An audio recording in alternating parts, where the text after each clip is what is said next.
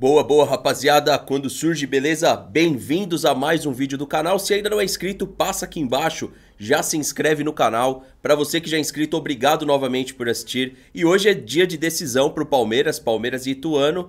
Tem que tomar cuidado, né? Vou falando um pouquinho aqui antes da gente ir pro assunto principal do vídeo. Tem que tomar cuidado para não levar essa partida para igualdade para os pênaltis, né? O Ituano já fez duas vítimas assim.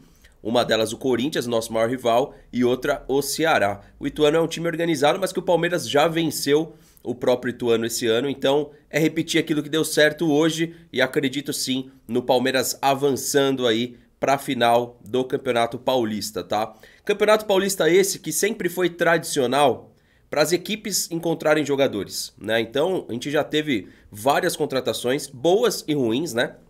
Das mais recentes, a gente pode falar que é, duas que foram de Campeonato Paulista, uma diretamente e outra indiretamente, que eu acho que foi excelente para o Palmeiras, foi o Moisés, porque ele era daquela portuguesa antes de ir para a Croácia e o Palmeiras buscou o Moisés, e o Tietê também. Corinthians também encontrou bons jogadores, como o Paulinho, o Ralph, entre outros é, jogadores aí que a gente sabe que o cenário paulista sempre foi essa, essa opção, né? Não tão cara, né? Uma opção mais barata.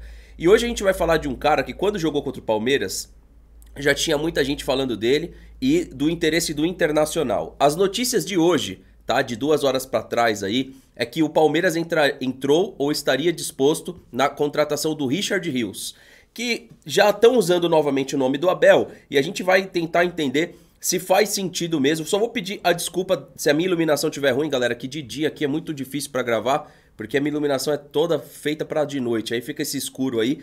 Mas, é como a gente vai ficar basicamente o tempo inteiro aqui, ó, eu acho que a gente não vai ter problema aí com a iluminação, é, porque o nosso foco é olhar aqui esse volante meia de ligação quase meia, Richard Rios, tá?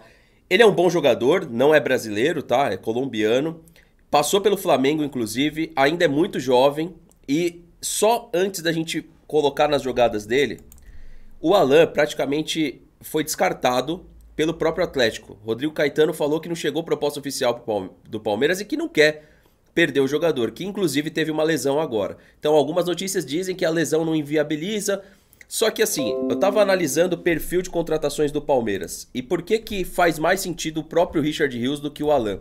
Primeiro, cara, eu não consigo entender é, o Alan como substituto do Danilo. Eu não consigo entender que seria também aquele substituto pro Abel. Agora, o Abel viu esse jogador de perto. E aqui tá as jogadas dele só contra o Palmeiras, que tá aqui disponível no YouTube, tá? Então, a gente vai reagir junto. Deixa eu só deixar sem som aqui, ó. É um, é um volante com força, tem marcação. Você vai ver que aí, ó, aí mesmo ele desarma o, o Veiga. Mas ele tem muita característica de chegada. E eu acho que isso aqui é necessário pro jogador que o Palmeiras vai contratar. Ele é bom jogador, ele tem um bom arranque. Não sei se vai ser um cara de grupo, porque hoje isso leva muito né, em consideração o Palmeiras quando vai fazer uma contratação. Mas foi um dos, um dos jogadores de todos os times que o Palmeiras enfrentou esse ano. Foi o jogador que mais me chamou a atenção pela classe. Ele lembra aqueles, aqueles volantes dos anos 90, sabe? Que tem força física, que chega. E, de certa forma, a gente pode falar que lembra um pouco o Danilo, sim. Mas ele tem ainda uma chegada maior como meia do que o Danilo. Mas olha só como ele esconde bem. É um bom jogador, cara. Ele fez um bom Campeonato Paulista. Se teve dois jogadores aí que fizeram boas apresentações no Campeonato Paulista, foi o Barleta que o Corinthians contratou e o Richard Rios, mesmo com a campanha não tão boa do Guarani. Então, se você analisar só esses lances contra o Palmeiras, bom, a gente já pode falar que Bagre esse jogador não é, né? E quem chamar esse jogador de Bagre, eu duvido que faz isso daí que ele faz. Ele é bom jogador, cara ele realmente é um jogador hoje que teria sentido apostar. Se o Palmeiras faz contrato de 4 anos com o Richard Rios, era um absurdo? Não. Porque o Palmeiras precisa também usar do Campeonato Paulista para fazer contratações. E por que, que eu tô falando isso, tá? Aí foram todas as jogadas dele contra o Palmeiras. Por que, que eu tô falando isso? Porque é inadmissível times lá do Sul usarem o celeiro aqui do Campeonato Paulista para reforçar e os nossos times aqui, os times do Campeonato Paulista, pararem de usar o campeonato. E, e aí, para que, que serve esse campeonato? Afinal, é só pro Palmeiras carimbar ali, ou outro time aqui de São Paulo carimbar título? Para que, que serve? Se não é pra gente olhar para esses outros times que, inclusive, se a gente defende a teoria de que os times como Ituano, como Água Santa, bateram nos times grandes, é porque em algum momento nesses times, o São Bernardo também, existem jogadores que podem reforçar as equipes maiores. A grande questão é tempo de contrato, salário, mas qualquer jogador que o Palmeiras for buscar no mercado, o Alan, por exemplo, dá, é dois Richard Hills o valor. E aí, você que tá aí do outro lado, eu, sinceramente, pelo que eu sei que é o Alan e pelo que eu vi do Richard Hills no Paulista, eu prefiro apostar no Richard Hills. Eu. Não sei vocês, tá? De repente você tem uma outra visão de que é interessante chegar um jogador mais experiente. Mas esse jogador me parece muito mais interessante que o Alan do Atlético Mineiro. Principalmente para você apostar para venda futura. E se eu não me engano, a gente pode colocar aqui o valor dele de mercado. Ele tem um valor até ok, Richard Rios, valor de mercado do Guarani. Eu acho que ele tem 22 anos, se eu não me engano. Eu já tinha visto em lives ali a, o valor dele. Primeiro, o valor de mercado.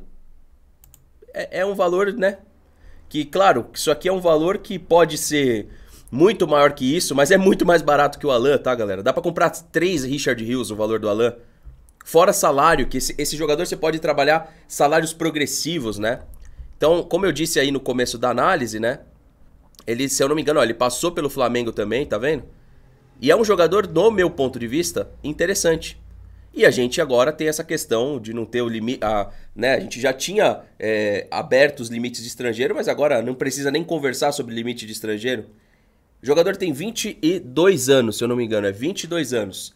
Eu apostaria sem medo no Richard Hills ao invés de no Alan. Até porque tudo indica que o Palmeiras não vai no Alan. Jogador mais barato, que vai ter que fazer quatro anos de contrato se for tirar ele ali do Guarani.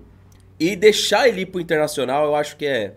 Eu acho que é um absurdo. O Internacional perdeu o Edenilson, esse cara é melhor que o Edenilson. Esse cara é melhor que o Edenilson. Nessas, o nosso antigo diretor contrataria. Muita gente ia questionar, falar, pô, mas tá aí, aí que fez dívida. Foi assim que fez dívida, Fernando. Mas quer deixar ir pro Internacional? que inclusive fez uma boa campanha no ano passado, esse jogador é melhor que o Edenilson. Ou seja, se ele vai para o Internacional hoje, o Internacional só ganharia com a contratação, porque ele é melhor do que o Edenilson hoje. Bom, Richard Hills, você apoiaria no, no Verdão? Eu, com toda certeza, sim. Na função, joga mais bola que o menino.